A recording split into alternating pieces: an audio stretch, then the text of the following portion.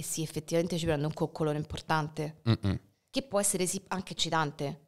Sì, sì, sì, eccitante oppure... Dai, quella può essere una cosa a cui appigliarsi della serie, sì, mo sto a riprovare la stessa attrazione di prima, gli sto per riannà sotto, però allo Ma stesso non tempo, ma che, che ne so di chi è? Mm. Cioè, alla fine mi sto a bomba quella di dieci anni fa, capito come?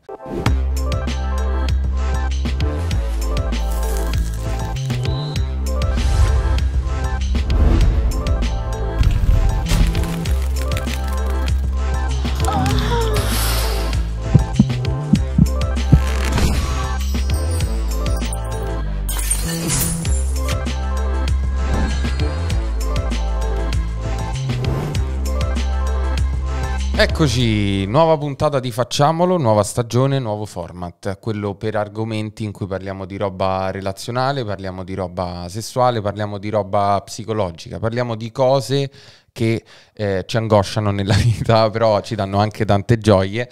E sono qui con eh, una delle persone più importanti a livello di ispirazione dal punto di vista proprio di, di carriera, dal punto di vista intellettuale, una mia grandissima amica, nonché scrittrice della prefazione di eh, quello che è il mio libro e siamo qui con Martina Ferrari. Grazie, grazie per Grazie tutta questa prefazione, stavolta l'hai fatta tu a me, grazie, Sì. grazie infinite, penso lo stesso di te comunque E, e ti ringrazio per l'invito. Eh, figurati, figurati, grazie a te per essere venuta qui. Allora, oggi, allora, intanto ti provo a presentare un pochino, poi mi piacerebbe, cioè, mh, preferisco che ti presenti anche un pochino tu. Ehm, tu sei psicoanalista, psicoterapeuta, psicologa e poi dici tu. Io non saprei come definirmi sinceramente, mm, perché non credo che siamo quello che facciamo, ma ehm, entrambe le cose sì, forse, però sì, ok, mi hai presentato abbastanza bene, sono una psicoterapeuta, psicoanalista e sono anche laureata in lettere e filosofia. Ok.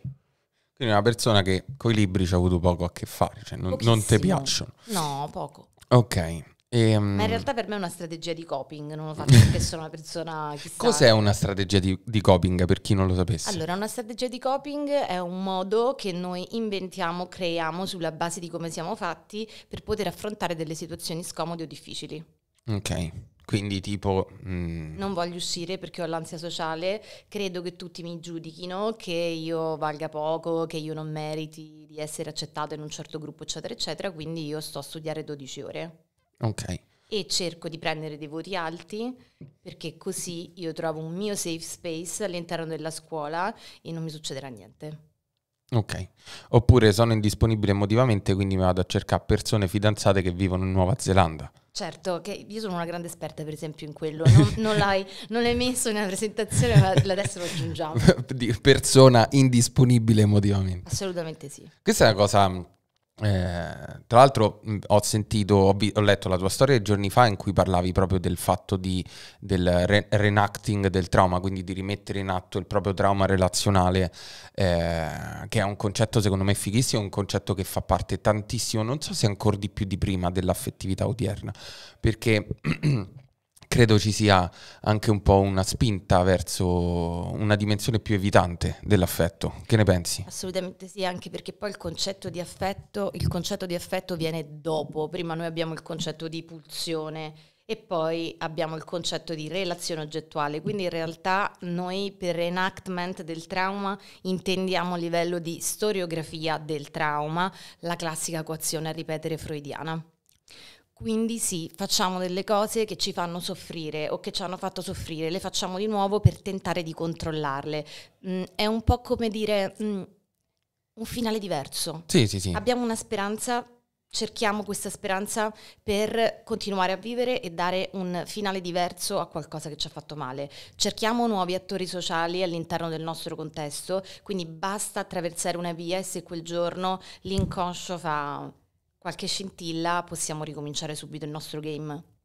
Ok, sì, che poi è un po' anche tutta la filosofia alla base del testing della control mastery theory, che è una teoria, diciamo, credo di origine psicoanalitica, che poi in realtà dà più bacetti al cognitivismo che altro. Sì, un buon mix, sì. Sì, e infatti super fan. E praticamente mh, si basa molto il concetto della control mastery theory sul, sulla questione del testing, no? Quindi che un po' avviene dalla coazione a ripetere. Quindi il fatto di mettersi di fronte al proprio alle, ai propri schemi traumatici, quindi cercare persone che riescono a eh, raffigurare, rappresentare e far ripetere di fronte a noi questi, questi, questi schemi relazionali traumatici col fine di vedere innanzitutto come reagiscono loro quando noi li mettiamo alla prova e gli facciamo quel numero lì che ci facevano a noi e vedere se, che credo sia test by compliance, questo qui non mi ricordo se è non sì, compliance o compliance. Che poi in realtà se ci pensi la psicoterapia stessa è un tentativo inconscio di eh, reenactment del trauma, perché noi che cosa facciamo? Andiamo da un terapeuta o da una terapeuta con tutto il nostro bagaglio traumatico di configurazioni, di schemi interpersonali,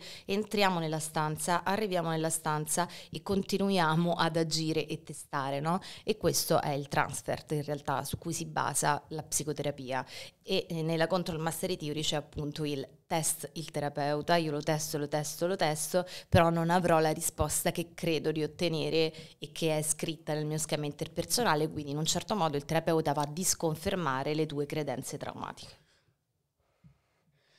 Però i fidanzati e le fidanzate non lo fanno questo. eh, questa, questa, è una cosa fondamentale. E soprattutto i fidanzati, anche se sono del settore, non, non vi cureranno. Questa è una cosa importantissima. Ah, mi trovo il fidanzato, terapeuta, e qui, cazzo. Anzi, penso no. sia importantissimo un lavoro, uno sforzo, nonostante non sia ancora terapeuta, uno sforzo grandissimo che faccio è quello di leggere le cose con più lucidità possibile, pochissimo con gli occhi della psicologia. Anche perché uno è disfunzionale, due è impossibile, tre che palle. Una stanchezza sovraumana non lo farei mai.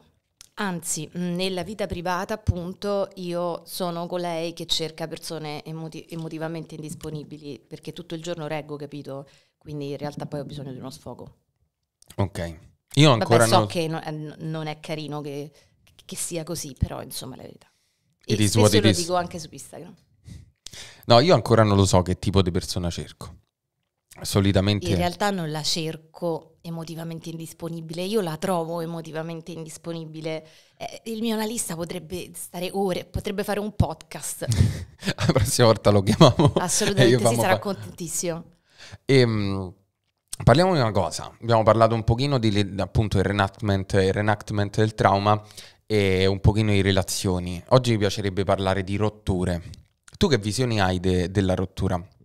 Ti, ti spiego un pochino eh, che cosa no, sono arrivato ad, ad, elaborare ultimamente leggendo anche un libro bellissimo che si chiama La fine degli amori di Claude Meren, mm, lavorando anche tanto in terapia e mm, insomma interessandomi nell'argomento rotture perché è un mondo, no? È una di quelle cose, secondo me, nelle relazioni che viene vista di più come dicotomica, quindi ti ha lasciato perché, la ricerca del perché, il cercare di eh, compensare, il cercare di fare a gara col partner, a chi si riprende prima, tutte queste cose nel, culturalmente viene vista così la rottura, sempre in modo molto dicotomico, come il tradimento e tanti altri argomenti. Invece la rottura cioè, una, una potenza e soprattutto delle dinamiche incredibili.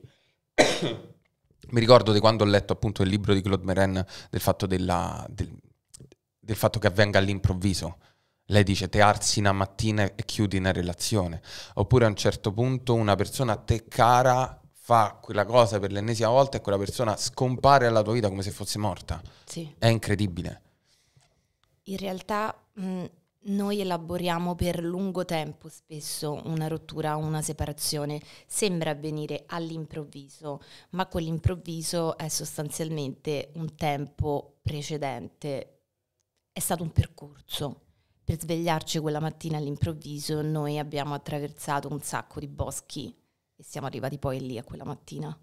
Io dico sempre che per il cambiamento, comunque per un'azione che fa cambiare una cosa, c'è bisogno di tre step. Il primo è la consapevolezza, il secondo il terzo è il cambiamento stesso, il secondo è rompersi il cazzo. Io penso che quella mattina che ti svegli è la mattina in cui uno si è rotto il cazzo. È evidente che sia esattamente così.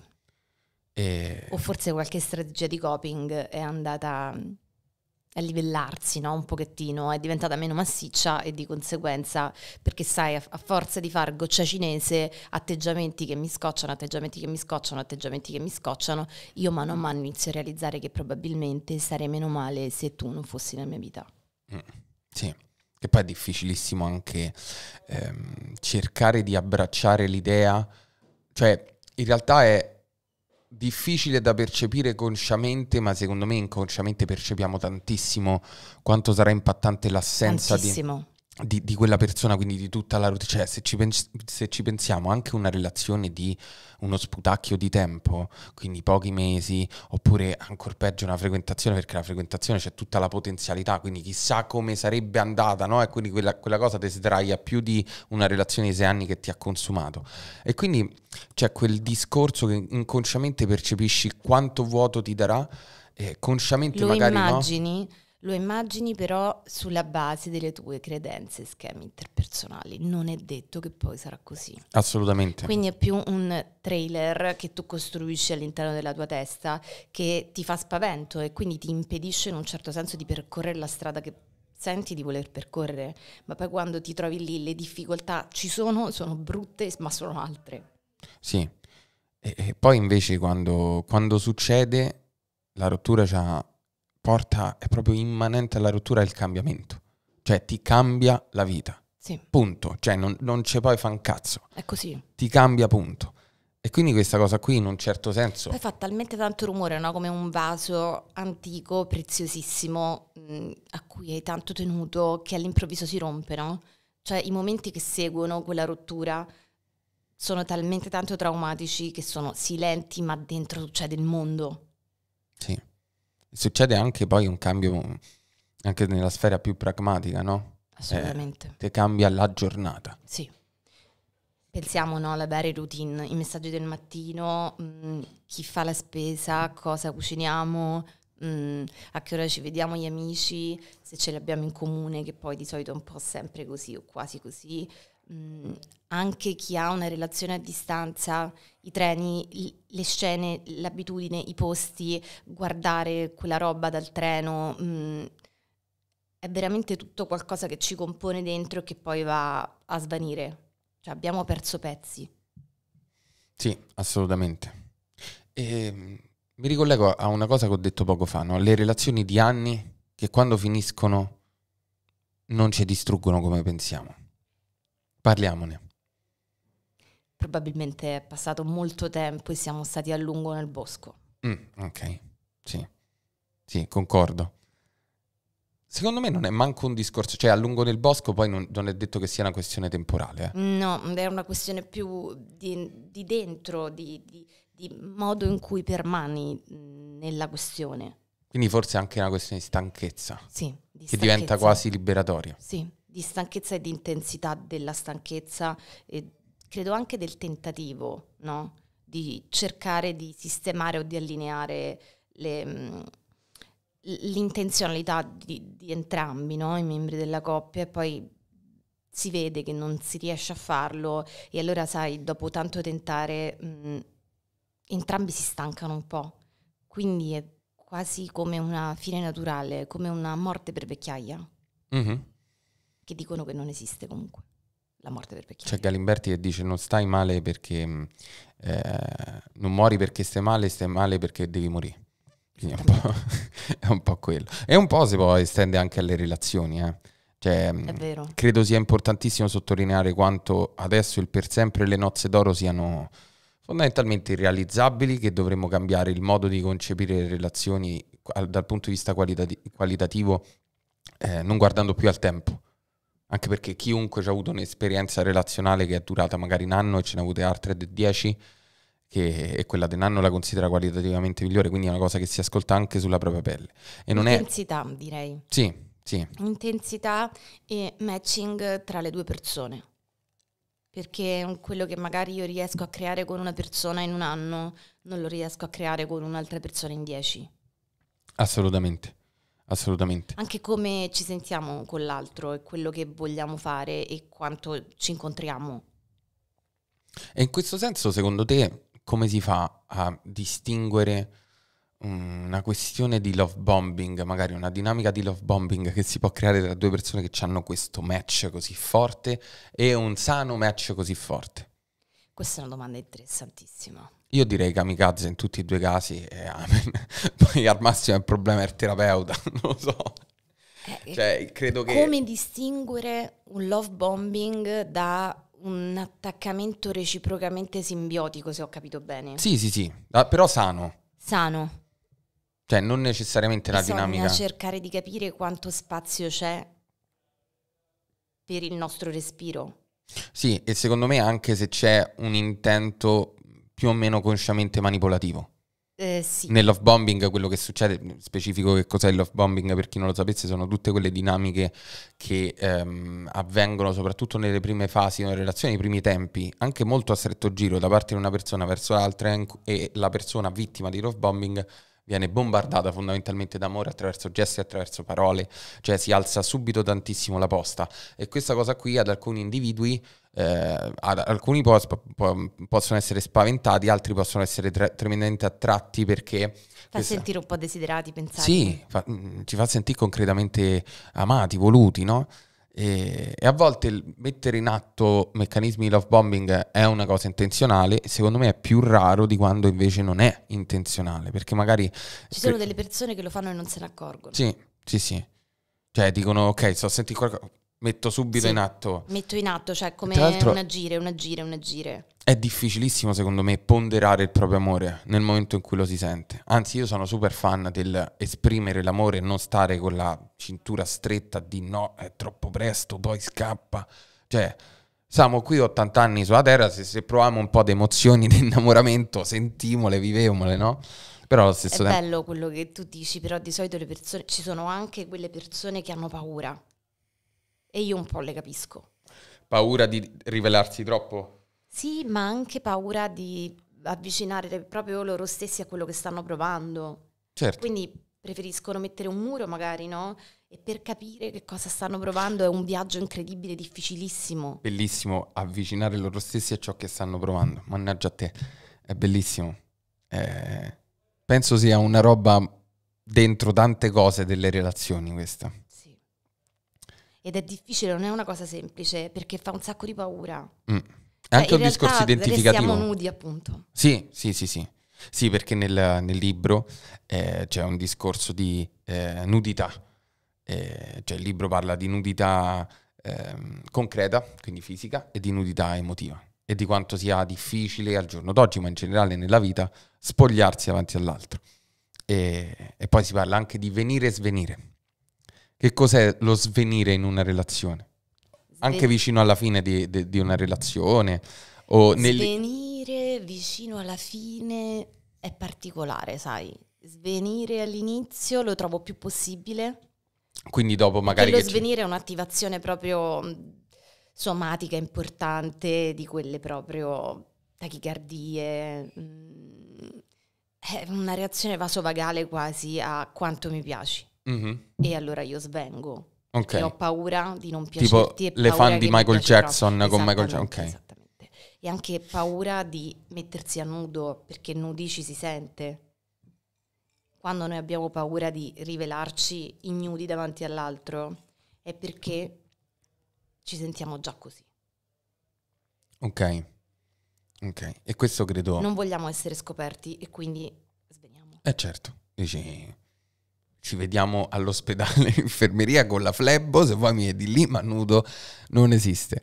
Ehm, E, questa cosa credo accada molto anche dopo che ci si rimette in gioco Sì, dopo la fine di una relazione. assolutamente. Io mi incazzo sempre un pochino con le persone che, biasima, che biasimano mh, le persone che dopo la fine di una relazione cominciano a divertirsi o che magari si rimettono subito in un'altra relazione. Cioè, Può servire.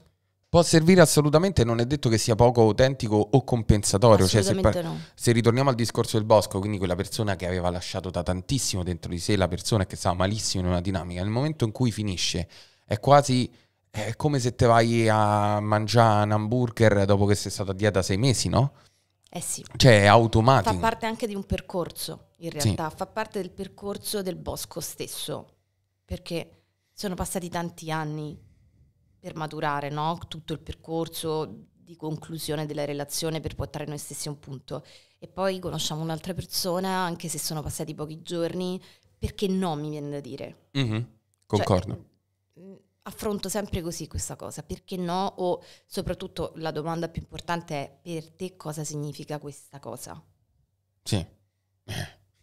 Eh, là si può ritornare al discorso dell'oggetto, no? La relazione oggettuale, cioè l'oggettificazione e l'altro dal punto di vista affettivo. In questo senso, rimanendo anche un po' nel topic della fine delle relazioni, perché il tradimento porta molto spesso alla fine delle relazioni, eh, secondo me è molto Questo inter- è anche un peccato. Sì, concordo. Cioè, secondo me a volte possono essere, eh, qua dire, sarà una cosa che magari verrà criticata, però it is what it is. Cioè, mh, mm, il tradimento è uno strumento. Assolutamente. Cioè, questo è oggettivo, sempre e comunque. Sì. Tradimento è uno strumento di comunicazione a se stessi, di comunicazione all'altro. Come ogni esperienza. Solo che questa è un'esperienza sia individuale che di coppia molto intensa nello stesso momento. Cioè, mh, mm, è mm. un'esplosione sì. Però una coppia può resistere no? anche alle esplosioni, ma non si tratta di resistere, significa capire. Capire e ricostruire. e ricostruire, anche avere capacità, voglia e disposizione a ricostruire. Cioè, non è detto che il tradimento in sé significhi. C'era Woody Allen che diceva una cosa del tipo: se non ero, l'ho detto anche in qualche altra puntata, eh, ti ho tradito solo per vedere se riuscivo a provare ancora orgasmi multipli. Cioè, che è grevissima come battuta, no? Però allo stesso tempo spiega eh, l'ho fatto per te. L'ho fatto per te per cercare di capire se c'era ancora, era un problema mio oppure era un problema nostro, che è tremenda, non è una cosa da promuovere no? dal punto di vista morale, però allo stesso tempo il tradimento è, in questo senso il fare... In psicoterapia però non si fa moralità. No, no, no, assolutamente, assolutamente. Però so, voglio anche eh, dare un occhio magari sia più pop, perché il tradimento è un... cioè più pop, più culturale, perché il tradimento è sempre visto come un argomento eh, demoniaco. E io quello che cerco di fare da sempre è di cerchiamo Però di guardarlo. parte della vita, eh, può succedere Cazzo. qualsiasi tipo di relazione, sia sentimentale sia non sentimentale ed è anche un banco di prova un po' per evolvere noi stessi, no? Mm, I tradimenti che ho vissuto nella mia vita mi hanno insegnato un sacco di cose, cioè se io non avessi vissuto quei tradimenti o se non avessi tradito io, se non fossi stata tradita, non sarei la persona che sono oggi. Mm-hmm. E mhm. forse mi dispiacerebbe. Sì, no. Con... Ho sofferto un sacco, eh. No, concordo, mi trovi d'accordissimo, mi trovi d'accordissimo, condivido. E, cioè, anche perché poi io credo che il tradimento, subire o fare un tradimento sia uno di quei meccanismi per cui vale la regola di Mike Tyson che diceva tutti hanno un piano, un'aspettativa finché non ti arriva un pugno in faccia. Lui parlava di game plan nella box, quindi tu c'hai il piano e dici ah, sto più difensivo, eh, ti arriva una bomba in faccia e non capisci più niente. Lo stesso discorso del tradimento, tu ci puoi avere l'aspettativa che dici eh, no sicuramente la lascio, lo lascio, oppure no ci sto insieme. Poi quando ti succede, che ti pia qua? dove sta la ragione Viene. e la tua aspettativa, no? E questo vale come per il discorso di io ho visto tantissime coppie in cui la persona che aveva lasciato stava molto peggio di chi era stata lasciata. Assolutamente sì. Quello è proprio un grande classico Disney. E... Perché lasciare è un'assunzione di responsabilità molto forte, quindi effettivamente quello che tu dici ha delle motivazioni molto importanti perché è un atto intenzionale, ti stai assumendo le responsabilità di quello che stai facendo. Se sei una persona che tende a provare senso di colpa, mh, mm, può essere un'esperienza devastante. E poi l'altro ti chiede perché. E tu non è detto che gli sappia rispondere a quel perché. Non sempre c'è proprio un perché, il perché si scopre anche nel tempo, cioè io posso scoprire perché ti ho lasciato anche tra dieci anni. Mm-mm quindi ti posso dire il perché di adesso e probabilmente è perché mi sono rotto il cazzo. sì, sì, sì. Proprio è il discorso di prima della seconda fase del cambiamento. Può essere anche solo semplicemente... Secondo quello. te è brutto dire a una persona che... Sì, lì Oddio, con chi, con chi stavo a parlare? Stavo a parlare con, con, un mio amico giorni fa e parlavamo del fatto di quando vuoi smettere di vedere una persona. Okay. Che sia la cosa più leggera del mondo, che sia anche una, una frequentazione. E lui diceva, no, io gosto perché le persone non capiscono che a me a un certo punto non me va e se io gli dico non me va si incazzano e quindi le gosto che non è proprio diciamo la strategia magari questa persona non si sente mh, mm, a proprio agio nel mh, mm, poi ricevere la reazione incazzata dell'altra Sì, sì, persona. sì, no, che, che ci sta assolutamente. Io sono una persona che Sì, se è le accolla quelle di- reazioni e s- meglio senza, cioè si campa molto meglio. se- Lo Ma non, è dis- non lo vedo come un discorso di codardia, quel tipo tipo... Cioè alla fine il ghosting è demonizzato e tutto Però sai, quanto. non voler uscire con quella persona è qualcosa che tu provi, quindi Mm. per quanto possa essere magari difficile per l'altra persona perché vuole continuare a vederti, in un certo senso andrebbe Tu non è che puoi fare tra- rispettata. per sacrificio. Esatto. Eh, cioè, che- Cioè, che- Altro, altro aspetto importantissimo a proposito delle ro- delle rotture, dobbiamo imparare ad- a rispettare quando l'altro non ce va più. ma se posso, anche per noi, Sì, soprattutto se Sì, sì. non vogliamo fare questo per l'altro, facciamolo per noi perché se una persona non, non vuole proseguire un percorso di conoscenza con noi, perché cioè, noi ci meritiamo questo effettivamente, a parte forse è meglio non parlare di merito, ma mh, credo che tutti desideriamo, no? Essere voluti, desiderati e una persona che voglia uscire con noi serenamente. sì, sì. Cioè, se Cioè, una persona eh, dice non voglio uscire con te, io credo che cioè, sia un'evidenza incredibile. Io, io forse là, Livio, posso chiedere perché, ma poi finisce lì, eh. Ok, grazie. Sì, no, ci sta. Io credo che ci sta a chiedere, ci sia a chiedere perché, anche perché uno può Quel fare. perché ti permette di elaborare due o tre cazzate per non andare Sì. in crash. Sì, lo so, però io non fonderei tutta l'elaborazione di una rottura sul Sul perché. perché dell'altro, Perché- soprattutto. su- sul perché dell'altro, perché se Forse no. è anche bene chiedersi perché tu chiedi perché e continui a insistere davanti a un dato così evidente. Il perché viene proprio preso come l'unica fonte di eh, risoluzione del dolore di una rottura. Eh, ma perché mi ha lasciato? Perché mi ha ghostato? Perché eh, mi ha tradito, no? E perché mi ha tradito forse se ci vuoi provare a rimanere insieme c'ha molto senso. Ma quando una cosa è finita, il perché è ciò che concretamente poi ti fa rima- rimanere attaccato più di tutto alla relazione in cui stavi E al tuo schema disfunzionale. al tuo schema disfunzionale, assolutamente. Cioè, proprio che sei lì, ti Cibi il tuo schema Diventa quasi- completamente disadattivo. Lo stai cibando con il perché. Sì, sì. Perché poi l'altro non ti dirà la verità secondo te, quindi tu darai la colpa a te, quindi ti confermerai un altro schema fatto di tot aggettivi che tu autorivolgerai a te stesso e all'altro e questo non farà sì che eh, aumentare le probabilità che la prossima relazione sarà una relazione che ulteriormente va a confermare questi schemi. Che tarantella. Esattamente sì, È una grande tarantella. troppo, è una cosa veramente massacrante. Io penso sia molto importante anche l'accettazione. Io nel mio percorso terapeutico vengo da tanta cognitivo-comportamentale, quindi anche da tanta accettazione. Per questo poi ho chiamato anche il libro è quello che è. Perché è così. Non può Cioè, essere sempre Natale. Il perché, il sottotesto, il sottotesto io sono super fan dei sottotesti, no? delle cose. Però a un certo punto conta quello che ascolti sulla pelle, conta il come stai, conta il quello che c'è stata fa. E con questo ti chiedo, secondo te, dopo la fine di una, di una relazione, che c'è stata fa?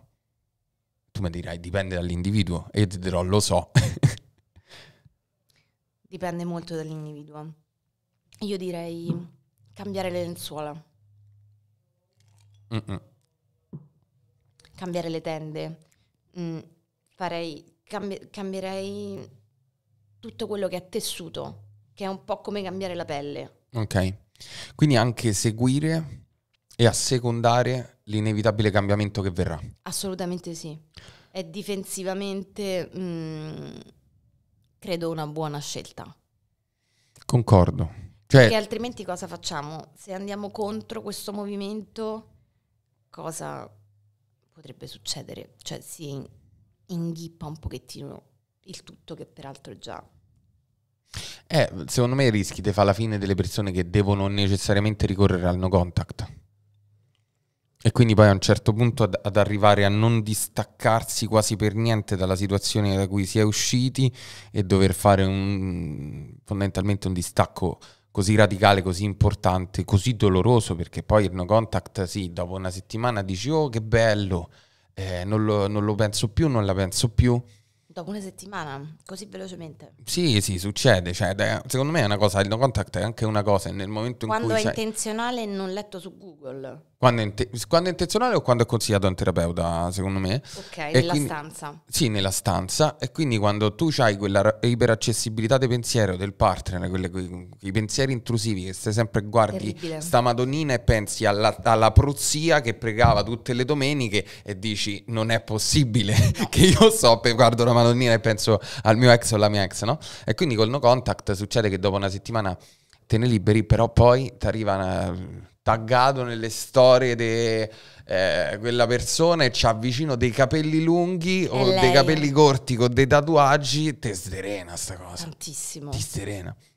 Noi, io e la mia migliore amica, siamo reduci da un matrimonio in cui abbiamo rivisto i nostri ex dopo anni. Ti devo dire la verità, è stato molto impattante. Qua si può utilizzare trigger. Sì, un po' sì. Eh, ma io penso che... Cioè, sono delle notti che sto facendo sogni strani perché secondo me sto elaborando una roba strana per cui una persona non la vedevo da 12 anni e poi l'ho rivista di botto questo matrimonio e sto facendo dei sogni veramente orribili. Però so che mi è servito e mi servirà. Sì, assolutamente. Però lì per lì non stavamo bene, io e la mia migliore amica. Eh no, te credo. Eravamo molto attivate. Io penso pure l'ex delle medie mi infastidirebbe. E c'era anche l'ex delle medie a questo matrimonio, quindi io non potevo, prati- cioè praticamente è stata una situazione- tarzavi, arzavi. Era tutto un disastro. Tremendo, tremendo. E, È stata una grande prova di resistenza per il mio inconscio. cazzo. Tu come la pensi rispetto al rimanere in buoni rapporti? Ti devo dire la verità, mh, se non succede qualcosa che è ir- irreparabile a livello proprio interpersonale, al di là della questione dei sentimenti no, tra me e te, ma proprio dal punto di vista umano, eh, perché no? Cioè, perché non possiamo restare in buoni rapporti? Magari dopo un po', ok? Mm. Quindi all'inizio possiamo non vederci, non sentirci, magari questa cosa la negoziamo un po' per capire come preferiamo allontanarci e salutarci e, e poi vediamo quello che succede anche con il tempo. Però, per esempio, le persone con cui non parlo e ho avuto una relazione sono poche rispetto alle persone con cui parlo e con cui sono stata. Ok. Io invece tutto il contrario. Cioè è molto difficile che io abbia interazioni con persone con cui sono, con cui sono stato. Al massimo le recupero dopo anni Esatto. e, e ok. Però, mh, al di là del mio punto di vista e della, della mia esperienza, ci stanno tantissime persone che dicono, fanno un ragionamento che secondo me ci può stare, che è se mi lascio con una persona in cui, con cui avevo una relazione con determinati ruoli, quindi fidanzati o le fidanzate, e quella persona poi non ha più quel ruolo nella mia vita, a me cosa cazzo me ne frega di rimanerci in buoni rapporti? E in quel caso dico, Ha senso. ci sta. Cioè, tipo il cercare l'amicizia, una presenza che faccia magari un pochino da palliativo rispetto alla rottura, non lo so. Poi se te la vivi bene funziona, sempre whatever works. Basta che funzioni. Se Ma te- sai, per me buoni rapporti significa salutarsi. Ah, sì, no, no, vabbè, io mi saluto con tutte le mie ex, cioè, nel Cioè, senso non c'è sta- no, credo, Natale, alcune non l'ho ancora riviste. ehm, non uscire insieme a berci una birra, ok? Tipo io e il mio ex. Pensi che l'ex o la ex possa sempre e comunque rifare effetto da un punto di vista sessuale? Con, eh, No. No. Mm. A me è successo che ci stanno delle persone che eh, quando le ho riviste e rincontrate ho provato zero attrazione, ma proprio non esiste, ma non roba Zero, che facevo, che, che pensavo tipo, Dio come facevo, no, cioè No, perché proprio zero. cioè, è proprio un discorso che dico, prima sì, mo niente, e altre persone invece c'è, c'è quella cosa da Marvel che dici come cazzo, poi qua, qua c'hai in superpoteri, vattene via, non te voglio più vedere. Questa cosa non è mai successa, anche me sì. perché mh, purtroppo eh, io sono una di quelle che lascia Mm. dopo tutta una serie di eh, accori importanti. Quindi se io arrivo a quel punto, io non, non- non- non- cioè è proprio improbabile che io provi poi un'attrazione sessuale. Infatti mi hai fatto pensare che a me mi è successo con l'unica persona con cui avevo, io ho sempre lasciato, avevo lasciato io e poi io sono tornato un pochino sui miei passi e lei a quel punto mi ha detto che te sei in culo. Ecco. E allora lì dopo anni c'è ancora la cosa che... Però giusto, giusto per il resto mi succede sempre che no, non mi interessa più. Che ne pensi del sesso tra ex partner? Secondo me il sesso tra ex partner, quando ci stanno i presupposti, se si riesce a fare con un grandissimo sforzo, ma no, secondo me non è nemmeno tanto uno sforzo quanto una predisposizione e un'intellettualizzazione prima, uh-huh. una bella corazza fatta di razionalità, intellettualizzazione, ne- negoziamo qualsiasi cosa. Sì, e tanto dialogo è una bomba. Al- fuori, non è mai al- successo, quindi non te lo so dire. All'infuori di questo, secondo me, è dramma shakespeariano. Deve essere particolare trovarsi. È, è di un giocoso incredibile. Perché tutti Fa ridere, due... vero, un po'? Sì, sì, sì, c'è quella cosa tipo, oddio che imbarazzo, mamma mia. E poi dici, ah, ma dieci anni fa però non eri così brava, capito? Cioè, c'è un po' quella Bello. cosa. Oppure chissà cosa starà pensando. Quelli che ci sono stati nel frattempo sono meglio di me ora o di me per tutte quelle cagate lì da maschio.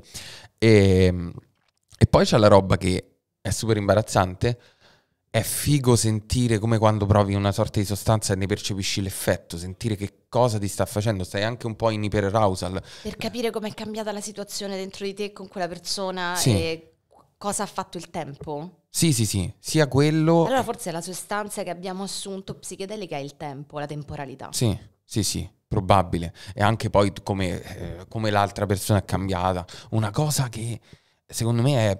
Mh, mm, distruttiva proprio dal punto di vista neutro, non necessariamente negativo, è quando a un certo punto ti rendi conto e dici cazzo, ma io non la conosco più.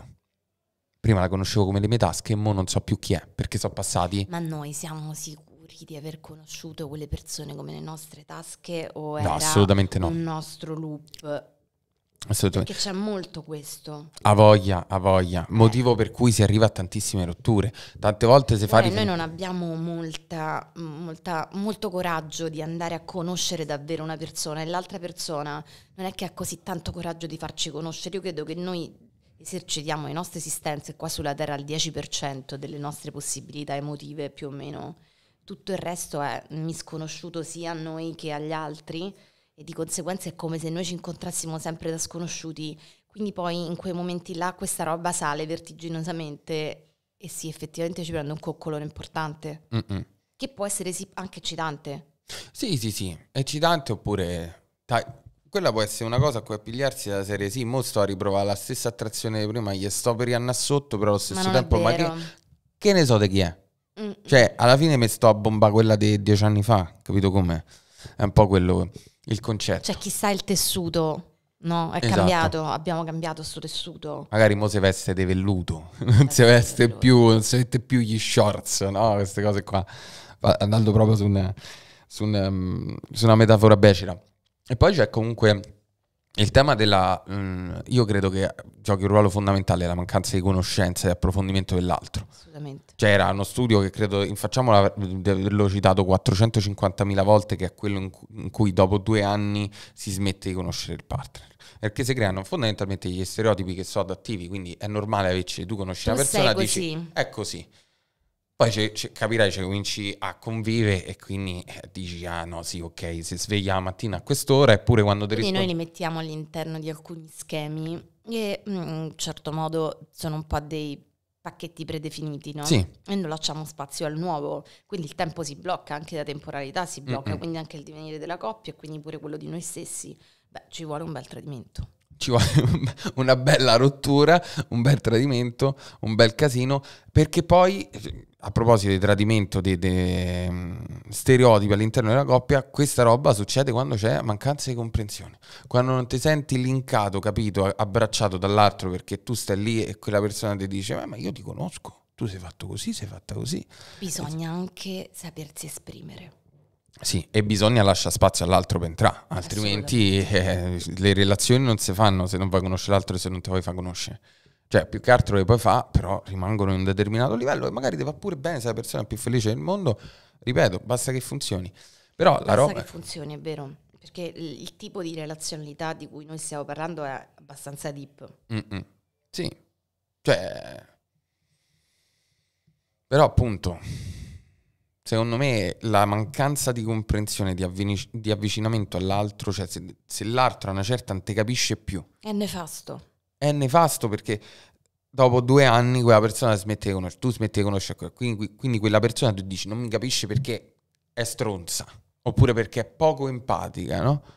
E l'altro non ti capisce e dice questo non lo capisco perché è scemo, perché è maschio, oppure perché è donna e ha le sue follie, no? Tutte queste cose qui. E in realtà è un processo che si è bloccato, no? Sì. E noi discorriamo di mele, pere, banane invece di discorrere che il processo si è bloccato. Sì.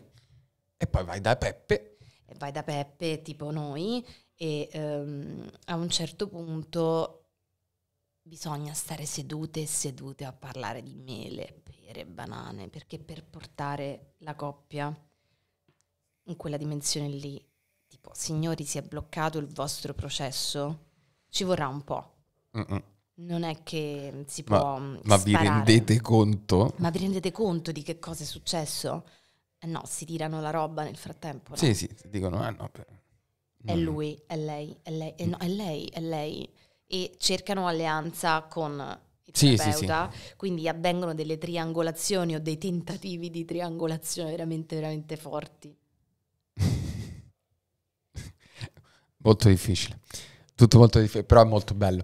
Ehm, no, poi Peppe può essere anche, anzi che chiamiamoli nome, può essere... boh, Io Peppe avevo dato per scontato Sì, fosse il terapeuta. No, io intendevo la persona con cui magari conosce o Pe- Peppe o Peppina, che sono i due amanti, e vai da Peppe, ci parli un attimo e quella persona magari in quella conversazione capisce quella cosa che il pischello tuo non ha, non ha capito per anni, o viceversa nella, nella versione... E quindi ti scatta una proiezione e un'idealizzazione tu fortissima. dici, porca miseria, allora ecco, eh, boh, e te lo chiavi. eh, Sono guai poi, perché in realtà mm, era anche il contesto, cioè ci sono da valutare un sacco di vibes nel momento in cui crediamo che una persona ci abbia capito così tanto nel profondo. Sì, io credo mh, profondamente nei, nei determinati match che sono assurdi. Sono proprio assurdi. Però non è, non è detto che nel momento in cui te lo ritrovi così facilmente sotto casa quando c'è un periodo critico in cui con, con la tua persona non, non c'è tanta comprensione, non ti senti tanto capito o capita, eh, sia necessariamente quello. Cioè a volte l'amante, anzi quasi sempre è uno strumento. È quella persona che dici, eh, ok, ti utilizzerò in modo chiaramente inconscio, ma in modo chiaramente schematico per confermare e disconfermare a me stesso determinate cose mi porteranno a scegliere di concludere la relazione, evadere dalla relazione, rimanere nella relazione, sopravvivere nella, nella relazione. Meraviglioso, è esattamente questo. Per quello poi eh, il ruolo d'amante è una cosa Non che... è molto comodo, eh, non- è veramente difficile. Anzi, io credo che amare l'amante, o, cioè amare l'amante è una cosa che si possa fare, ma è un amore particolare. Cioè tu Si stai, ama ama- l'amante, stai amando lo strumento. stai amando è, lo strumento. è importantissimo Ami capire... la tua stessa zappa proiettata sul martello. Sì, sì, sì. Assolutamente ami quello che quella persona ti dà per sopravvivere nella relazione precedente. È un po' Vicky Cristina Barcellona, no? E questa è una cosa secondo me fondamentale da far capire alle persone Fermo che fanno... che ci sono delle relazioni tra amanti che sono molto ricche. Sì, sì, sì, sì, assolutamente. Però lo sono solo ed esclusivamente se rimangono nella declinazione di amanti. Sì. Se lasciano i rispettivi partner e si mettono insieme, non valgono più nulla. È vero. Questo è proprio grande classico, una hit Sono estiva. molto tristi dopo. Sì, sì, dicono, ma che, abbiamo fatto? Mo, mo t'ho visto più di quattro ore a settimana. Eh, non tiri giù la tavoletta. Perché che si Stronzo. aspettava? Capito? cioè, è, è una roba, è una roba assolutamente. E credo sia molto importante eh, da capire per le persone che fanno amanti che quello è, Esattamente. quello è. Poi esistono le storie in cui... Cerchiamo di capire perché stiamo proiettando una temporalità futura su questa persona, cosa stiamo cercando noi se siamo nel ruolo di amante, ok? Perché può essere un ruolo che ci blocca. E soprattutto chi pensi di essere per quella persona. Esattamente. E chi è questa persona per te? Sì, sì, Qual sì. è proprio il ruolo che, che ha in questo Quanto momento? ti fa comodo, perché Eh. fai gli amanti è proprio per È alcuni... comodissimo. Sì, sai proprio, sai, sai È una proprio- crema. Mamma mia, è una vacanza. sì, sì. È, è- è concretamente una vacanza dal lavoro. E, mm, Perché stare in relazione è un lavoro. io penso che sia importante Però è poi... un lavoro fico. Sì, sì. Cioè, è difficile, eh, non è tra i lavori più facili. No, no, no, è un lavoro figo perché poi c'ha tutte le cose tricky, misteriose, però quelle tante volte coadiuvano in una parte più giocosa e più divertente, quasi che creano quel brio in più, no? Però sì, è concretamente la... Cioè, va, va capito, vanno capite le mansioni, come quando cominci un nuovo lavoro, no? Tu c'hai quella... Che cosa devo fare in realtà? Che cosa significa questa posizione di lavoro, questo ruolo lavorativo? Magari una parola lunga così e noi non lo sappiamo, quindi andiamo a chiedere, ma che cosa dovrei fare, ma che cosa dovrei fare? Poi quando ce lo dicono, in realtà lo scopriamo man mano facendolo. Sì, Però sì. se comunichiamo è meglio, perché mm, ci sentiamo anche più sereni di esprimerci e di fare proprio. Soprattutto per tradire e per fare gli amanti ci vuole il physique du roll. Molto. Non è roba da tutti. Non è roba da tutti e... Com'è il physique du role di un amante? Di un amante? Sì. Mm. Secondo me deve essere una persona tanto comprensiva, tanto attaccata ai dati, alla realtà, quindi non alla fantasia di un cambio di rotta. Cioè io penso che per fare l'amante bisogna essere attaccati alla realtà. Non si può fare l'amante se eh, diventa una- una- un mezzo per arrivare a qualcos'altro. Dal Quindi un amante deve essere un data scientist in un certo modo. Sì, sì, uno statistico. Uno statistico attaccato molto ai dati che guarda subito la curva normale e dice dove stiamo qua? Dove stiamo? Quanta parvenza, no? Ed è difficilissimo. E deve essere un ruolo, tant'è che tipicamente le, le- le- le cose, credo, eh, tipicamente, le cose che si costruiscono di più tra amanti sono quelle in cui eh, entrambi non hanno una grande intenzione di andare oltre. Che è possibile. Che è possibile. E sono quelle che poi creano. Sei il mio miglior amante, no? Un po' quella la roba. Molto bello questo, sì. Mm. Eh, eh, si, si crea quello, quel, cioè è una relazione a sé e bisogna saperla masticare. Il ruolo del traditore invece credo sia un po' più, un po' più da capire. Perché mm, ci stanno, secondo me, ci stanno livelli di traditori, cioè è una roba che va capita, a volte è una, de- una declinazione della non monogamia inespressa e non riconosciuta, Assolutamente. altre volte è un classicissimo schema di coping rispetto alla relazione. vita. Alla vita, alla relazione, a- all'affetto, all'oggetto e tutto quanto. Altre volte è un momento di follia. Come Eh. può essere fatto un momento di follia? Un momento di follia? Bah. C'è una ricerca di conferme, no?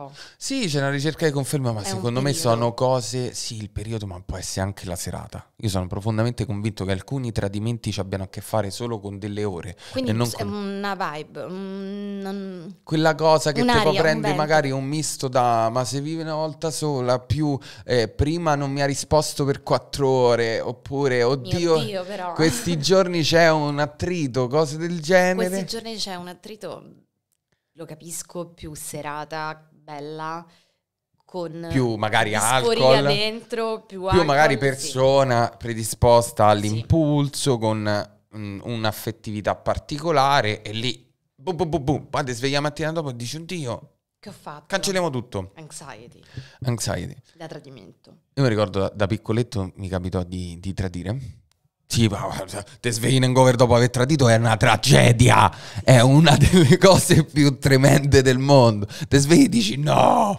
vai in chiesa, ti metti a confessare, perdonami padre, cioè è incredibile, è tremendo, non lo auguro Cioè, a nessuno. credo che si arrivi alla paranoia più estrema. Sì, sì, sì, sì, no, cioè vai in totale...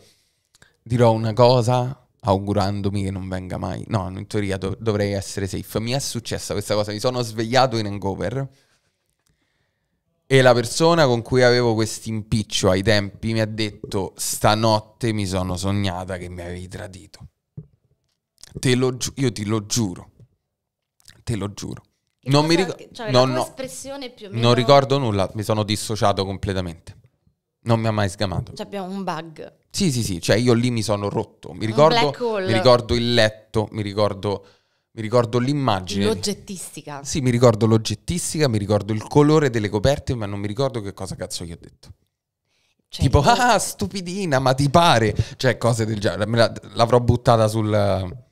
sul abbassare diciamo che subito. a livello mh, di particelle tue, proprio fisicamente, sei evaporato. Sì, sì, sì. No, in quel momento c'è un livio ante quel momento, un livio post. C'è un Livio che osserva quella scena ancora. Sì, sì, sì. No, paura, bruttissimo. E però allora... spettatore della mia rovina. Sì, sì, sì, assolutamente. E mi ricordo... Poi non è accaduta. Cosa? Che non sei stato scoperto. No, no, non sono stato scoperto. E mi ricordo, ne parlai con mio padre. Tra l'altro, mio padre è una persona eh, molto ligia, non ha mai tradito, cioè una persona molto corretta, molto etica dal punto di vista relazionale e tutto quanto. E mi disse: Questa cosa non è mai successa. Punto. Punto. Questa sarà la risoluzione delle cose. Ma tu ne hai parlato con tuo papà perché ti stavi agitando? Sì, perché io papà ce l'ho sempre avuto un po' come punto di riferimento, tipo, ma le donne come, come funzionano? Adesso chiaramente, essendoci avvicinati d'età e di esperienze, ne, ne- ne dibattiamo, no? Quindi ci ascoltiamo vicendevolmente, però lì ero molto piccoletto. E quindi mi disse, "Sa, questa cosa non è mai successa, che è anche coerente con determinati studi che dicono che le persone che sopravvivono di più al- dopo un tradimento sono le persone in cui la persona che ha tradito non lo confessa e si impegnano più a non farlo. Cioè la classica scappatella sta là, Resta lì. non è mai successo, sta là. È, è una cagatina di una notte, punto. E a volte può essere considerata così. Poi c'è chi può dire, eh no, però Ma io... quando la scappatella non è una scappatella, ma è una storia. Eh, là è un altro paio di maniche. Eh, Ma proprio maniche lunghe. perché poi entriamo anche nello schema di routine. Sì, sì, sì, sì, sì. Sopravvivenza. Tradire per sopravvivere. Eh sì. Va bene, Marti. Io ti ringrazio tantissimo di essere stata qui. Grazie a te. Secondo me abbiamo fatto un, un bel putpurri di, di relazioni, fine relazioni, tradimenti e cose.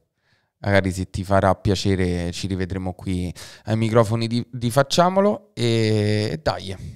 Ciao. Ciao, ciao, grazie.